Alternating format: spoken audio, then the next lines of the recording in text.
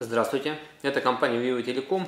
И мы еще сегодня познакомимся с одной новинкой от компании Rattel. Называется радиостанция Rattel RT470.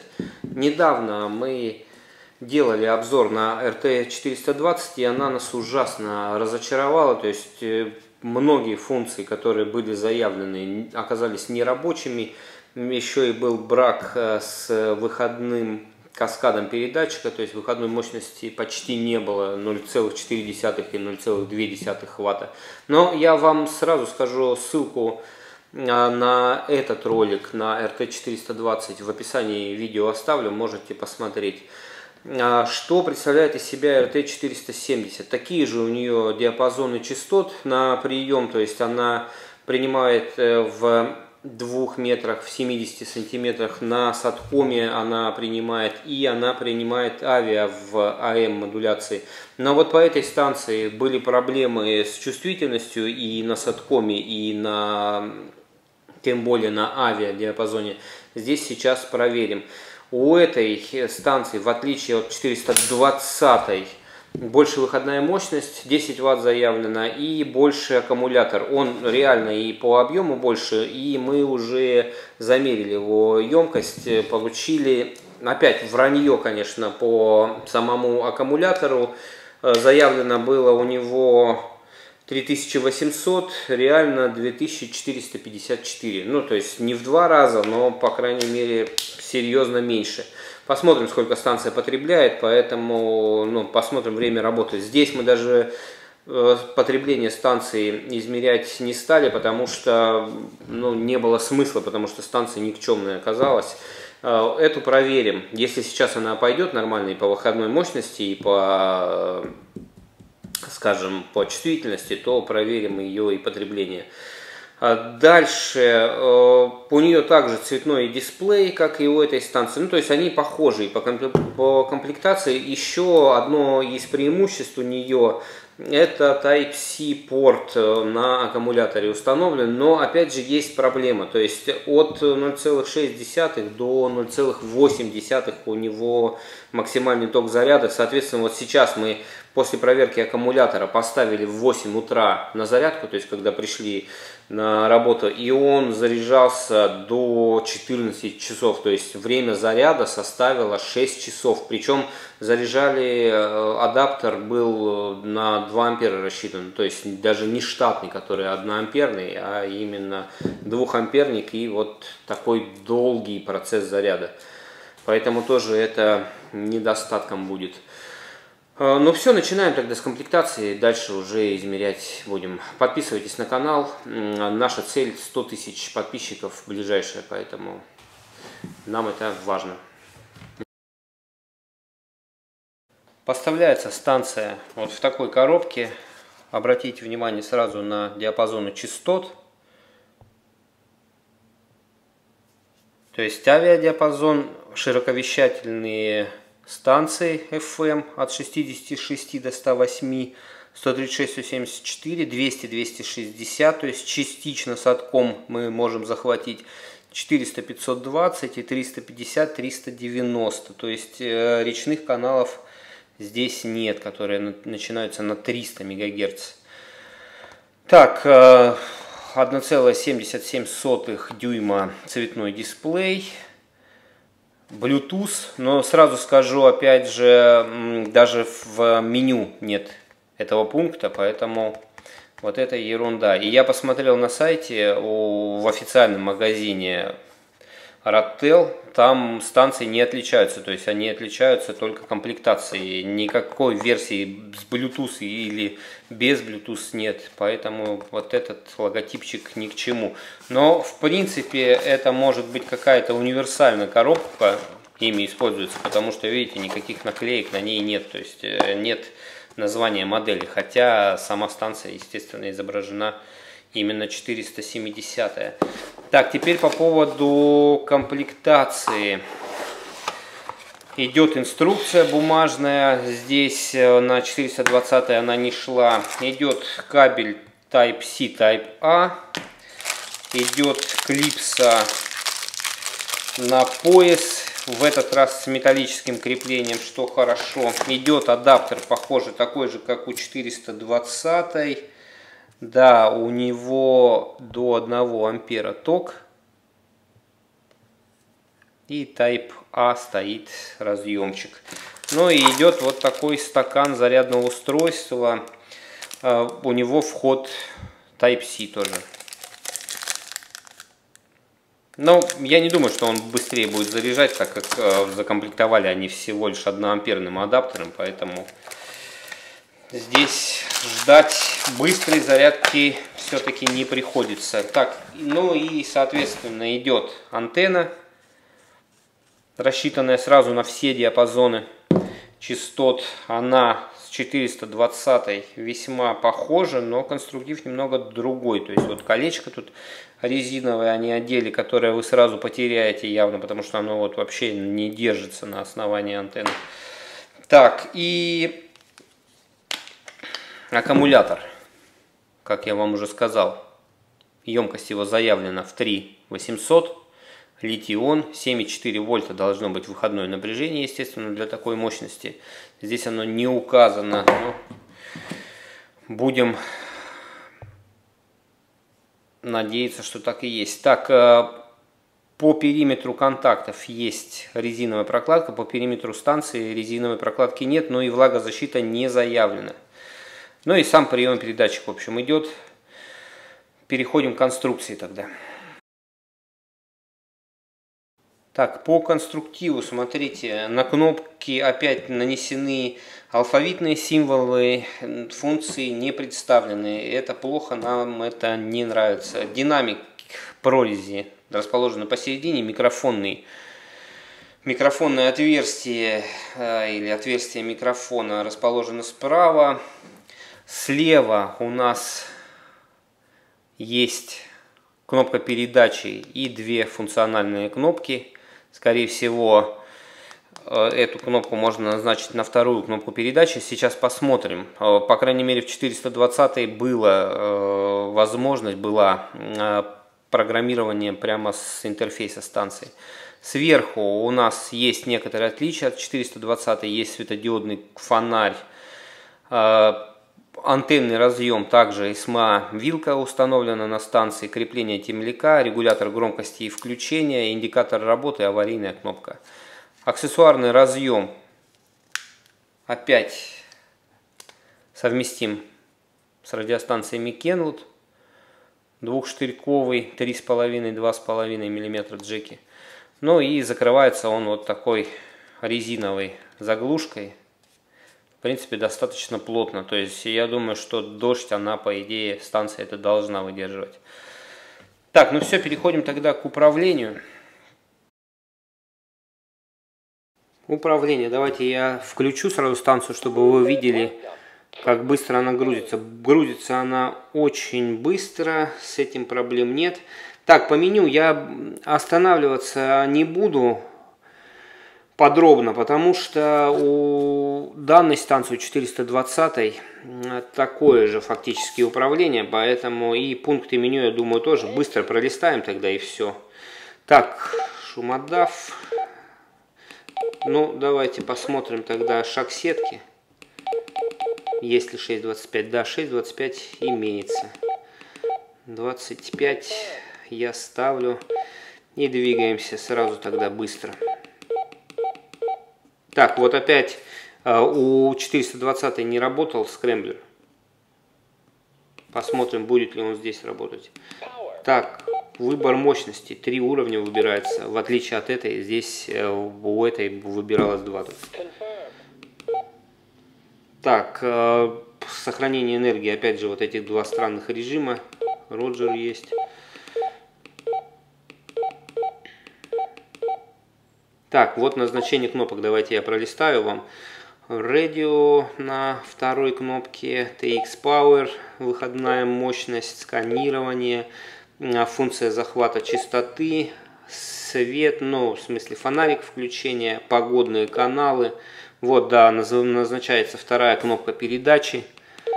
А, ну и все, вот такой выбор. Ну, пусть радио тогда и остается.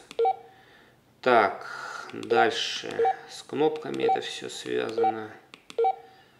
Сканирование есть э, к CTCSS DCS.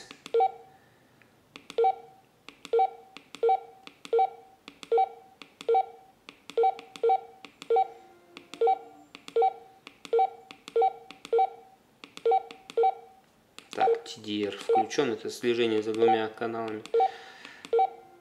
Ну, в общем, да, я вижу, что похоже меню, ну, фактически одно и то же. Так, версия 1.19 у нас прошивки. Так, ну и все, да. Как видите, Bluetooth здесь вообще не заявлено, то есть они решили не позориться и сюда функцию Bluetooth не включать, которая, напоминаю, в этой станции оказалась вообще не рабочей, просто значок добавляется на экран и все. Так, все, переходим к замеру мощности. Переходим к замеру мощности. Сначала частота 145 МГц, мощность высокая, как вы видите, аж горит. Так, включаем приборчик. 10 Ватт у нас будет предел измерения. Цифры внизу, а риски сверху. Нажимаю на передачу, смотрим. Ну вот, в этот раз все более-менее нормально с этой станцией. Около 5 Ватт, да? Ну, 5, 5 ровно, грубо говоря, да. Так, теперь на 434 я переключаюсь. Тоже высокая мощность. Смотрим, сколько здесь. Он, да, тут даже побольше. 7 ватт ровно. Так, средний уровень мощности на 145. Смотрим.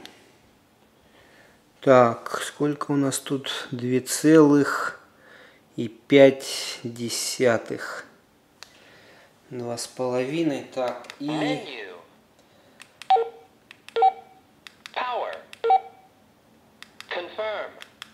низкая мощность смотрим. Здесь у нас так полтора ватта. Продолжаем исследование данной станции дальше тогда. С мощностью более-менее нормально. Нет обещанных конечно 10 ватт но 7 тоже пойдет для нее. Так, давайте смотреть потребление. То есть 13 микровольт она потребляет при выключенном питании, поэтому аккумулятор можно оставлять смело. На станции подключены. Так, э, режим Safe у нас стоит по умолчанию с завода, какой был. Поэтому, так, слежение за двумя каналами тоже включено. Сейчас она включит у нас режим сохранения и замерим тогда ток потребления в течение 60 сэмплов. Давайте я сбрасываю и ждем. Так, выждали 60 сэмплов, 51 миллиампер получаем. Режим ожидания с DV он, ну то есть слежение за двумя каналами включено. Сейчас я тогда включу слежение за одним каналом и измерю еще раз. Standby или TDR функция отключена, то на дисплее по-прежнему отображаются два канала, ну то есть две частоты. У некоторых станций какая-то полезная информация выводится, если канал один. Здесь все-таки так и остается на дисплее отображение. Так, ну проверяем тогда потребление.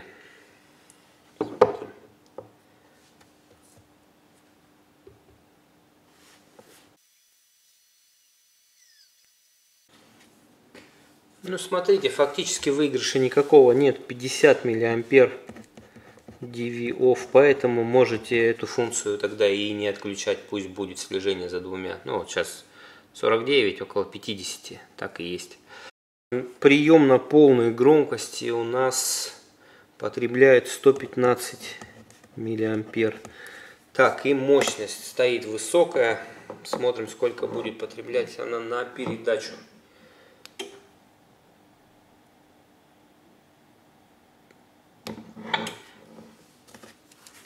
Две тысячи семьсот шестьдесят девять миллиампер.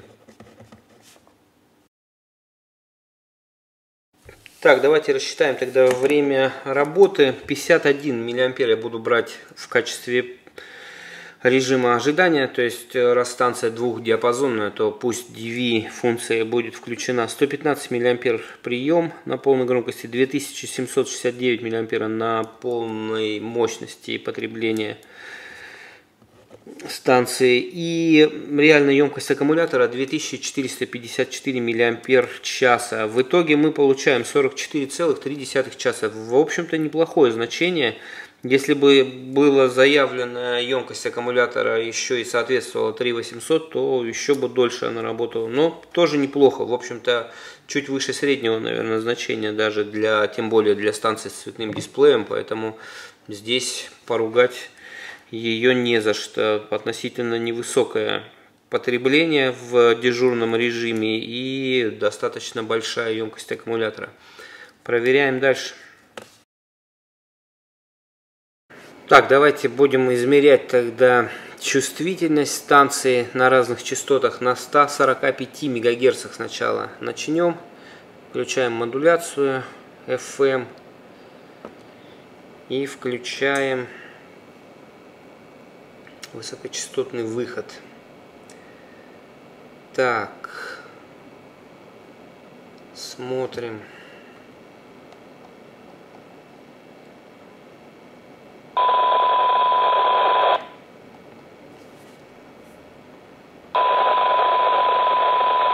Минус 126 dBm. Так, с этим все хорошо. Теперь 434 включаем ровно. Так, здесь...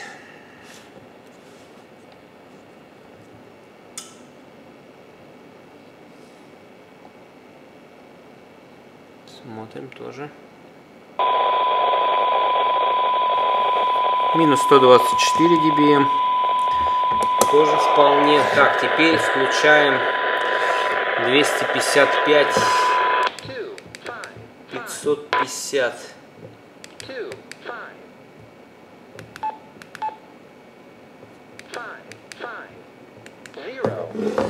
Так, 255 550.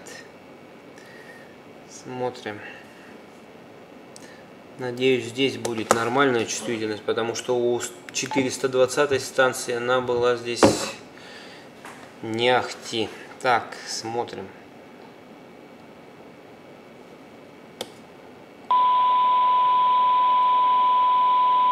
Минус 119 dBm.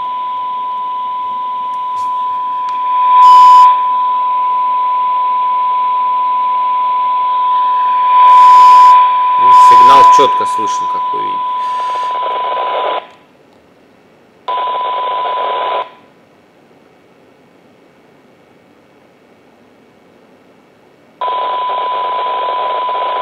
хм, Смотрите, после первого открытия она даже стала получше открываться на этой частоте.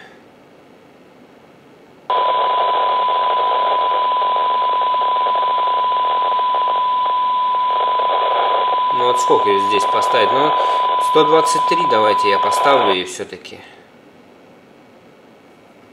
Хотя, наверное, давайте выждем время, посмотрим. Сейчас режим сохранения энергии включится, посмотрим, как она будет принимать на этой частоте.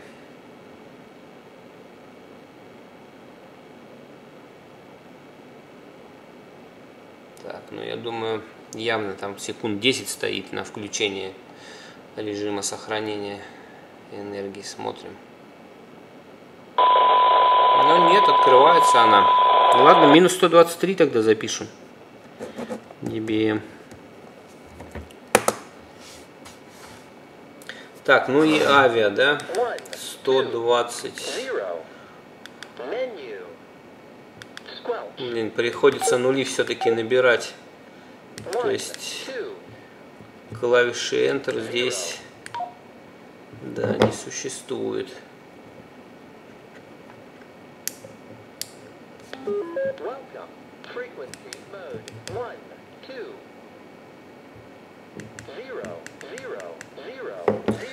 Так, 120 мегагерц.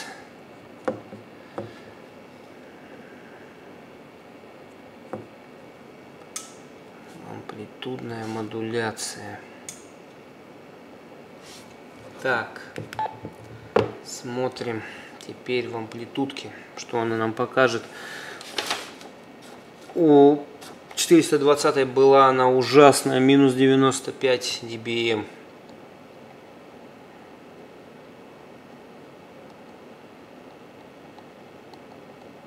Так, кстати, давайте я посмотрю. Squelch, да, шумодав стоит на единичке. Это вдруг при смене модуляции он куда-то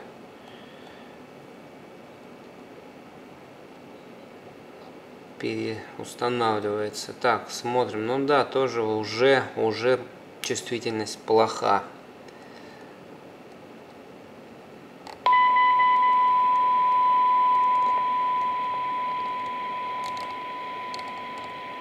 Так, вырубайся.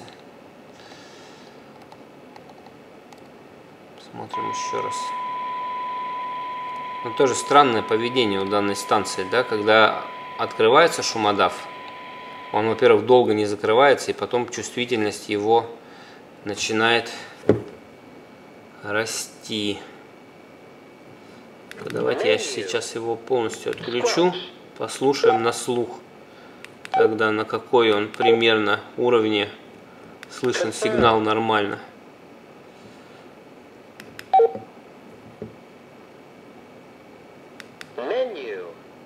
Так, смотрите, вот тоже еще интересное поведение. Я вот на ноль поставил, да, шумоподавитель. А он его не открывает. Видите, ноль стоит. То есть полностью открытого его нет. То есть либо 9, либо нолик.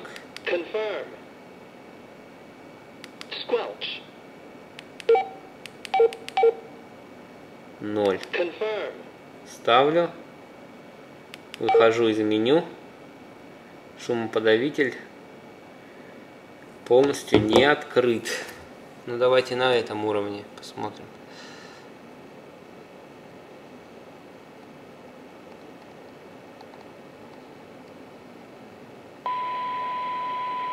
Ну вот на минус 109 принимает. Ну, давайте тогда используем это число, да, 100, минус 109 dBm. Подкрывает оно. Ну, получше, чем у 420 станции. Все-таки эта станция по чувствительности лучше. Сейчас, смотрите, после приема станция открылась. Ну, то есть, когда стоит шума, шумодав на нуле.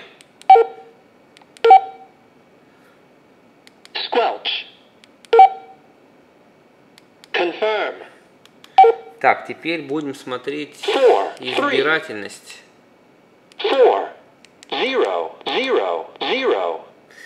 Шумодав на единице стоит. Здесь ставим 434 мегагерца на 10 килогерц сдвигаемся. Так, дальше амплитуду ставим Минус 124 dBm было. Так, модуляцию меняем на FM, включаем модуляцию, включаем выход модуляции, включаем высокочастотный. Смотрим, с какой с какого уровня амплитуды откроется шумодав от помехи, отстоящей на 10 килогерц. 434.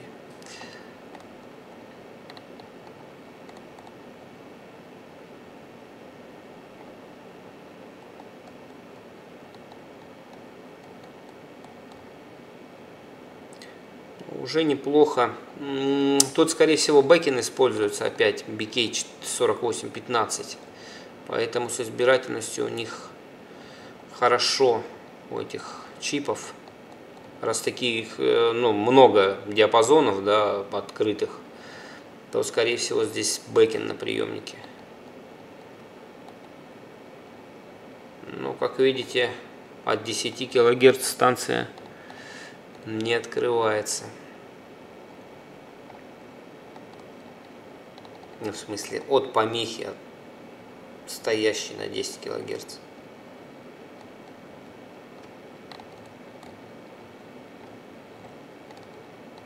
Ну вот видите, я уже дошел до максимума. Станция не открывается, то есть все хорошо у нее с этим. Сейчас проверим ее на проблему 275, будет ли она срабатывать или нет. Надо не забыть это сделать. Явно здесь стоит бэкин, судя по поведению приемника. Явно здесь бэкин. Так, давайте проблему 275 проверим сразу на этой и на этой станции на 420 и на 470.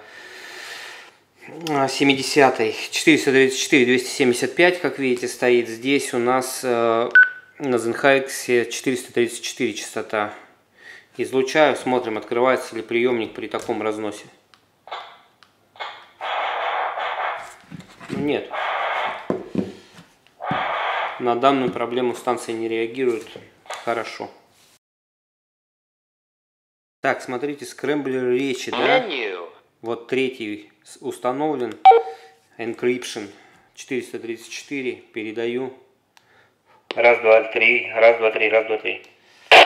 Никакого скрэмблирования нет, как и в 420 станции. То есть функция опять не работает со скрэмблером речи. Давайте я поставлю, например, первый сейчас, да? Confirm. Смотрим. Раз, два, раз, два, три, раз, два. Все, канал открытый, никакого скрэмблирования нет. Так, тестируем функцию захвата частоты. Включаем здесь на Ротеле. Включаем на Ретеве CRA 685. Сравниваем. Передавать будем 434 ровно и под несущую 67 Гц. Смотрим. Ретевис определил. Ротел тоже более-менее. Еще раз проверяем. Ретевис уже. Ротел, но пободрее он, да, чем э, в 420 все равно. Получше работает. Но Валитевис пока по скорости не достигаем. Но, кстати, сейчас неправильно поднесущий он определил, не 85. Вот теперь верно 434 и здесь тоже.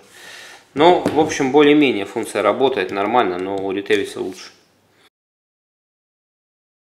Так, проверяем максимальную громкость, динамика и качество приема.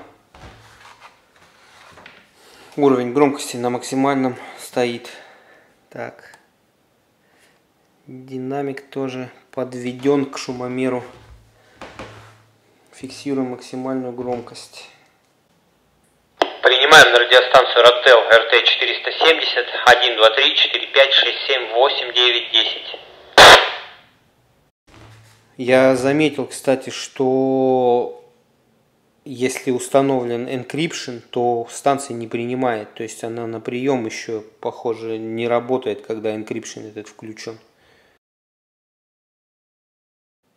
Передаем с радиостанции Ротел РТ-470 1, 2, 3, 4, 5, 6, 7, 8, 9, 10. Проверяем штатную антенну. Сначала в нижнем диапазоне 135-175. Смотрите, какой интересный график. Есть минимальная КСВ, и оно прямо на 145 у нас, да, попало. 1,18 и 54 Ома сопротивления. Еще вот сюда смещусь. Даже нет, вот сюда 144 500, 1,12, 49 и 4 сопротивления. Ну прямо фактически идеальная антенка на нижнем диапазоне. Ну, достаточно узкополосная она, конечно, но зато отлично настроена именно на любительские частоты. Смотрим вверх. Так, ну в верхнем похуже, 400-470 весь диапазон. Но, в общем-то, зато здесь широкая полоса у нее, то есть она почти во всем диапазоне работает более-менее нормальная. То есть 3,5 у нее значение в начале диапазона только. Дальше ниже трех становится. Так, ну и минимальная где-то на 457, 750. График достаточно пологий. Так, 2,1, 32,6. То есть если в 400 будете станцию эту использовать, то лучше штатную, конечно, поменять. Не очень она эффективна все-таки. Внизу хорошо, вверху похуже. Так, ну что, проверили мы еще одно китайское изделие Aratel RT470. Ну, эта станция, конечно, получше, получше чем RT420 вообще по многим-многим параметрам. А, начнем, как обычно, тогда с недостатков. Ток заряда все-таки маловат. Да, Type-C есть, это плюс, но ток заряда слабый. А, хотелось бы уже все-таки хотя бы 2 ампера иметь. Есть такие станции, например, Хайтера, уже такой ток заряда дают. Дальше, нет скрэмблера речи. Э, вот опять же, причем он еще влияет на, на прием. Видели, как будто поднесущая стоит на канале, то есть станция не открывается, если это скрэмблирование включено. То есть на передачу она никак не скрэмблирует э, голос ваш, а на прием влияет. То есть непонятно, что это за функция, в меню никакого описания нет. То есть э, казалось бы, по названию encryption должна она шифровать данные, ну, в смысле голос, но этого не происходит. Поэтому запишем это в недостатки. Если кто-то знает, что это такое, может быть, сам производитель, напишет тогда, как эта функция должна работать, но похоже просто она не работает. Э, дальше, емкость АКБ заявлена на 3800, получили мы 2454, тоже запишем это в недостатки. Но зато по всем параметрам более-менее она отработала нормально и по чувствительности в даже в АМ модуляции на авиадиапазоне минус 109 dBm мы получили. Я вам сейчас, кстати, вставочку э, поставлю еще, как она принимает э, реально погодный канал авиа в АМ модуляции. Посмотрите.